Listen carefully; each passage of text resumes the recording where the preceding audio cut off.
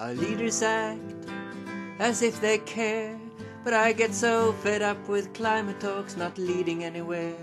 And they hide behind each other with no results to show, because no one is prepared to do what we need to do. We need to act, we need to care, and make an end to releasing greenhouse gases in the air, cause we owe it to the ones we love, to the grace that makes us live, to laughter and music, to all that life can give, cause our future is worth the fight.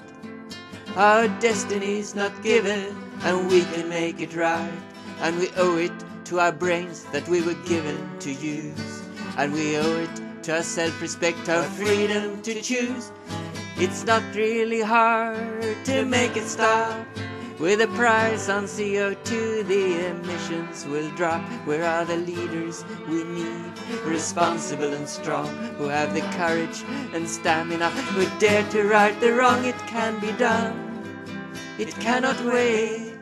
We need to end this global warming before it is too late. Cause we owe it to this planet, to the life it's giving birth. Cause we owe it to the billions to be born upon this earth.